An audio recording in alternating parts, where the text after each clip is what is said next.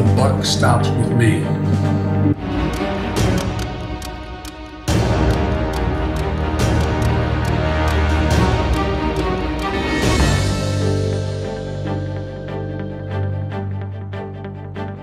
Henry Kissinger said, to be an enemy of the United States is dangerous, to be a friend of the United States is fatal.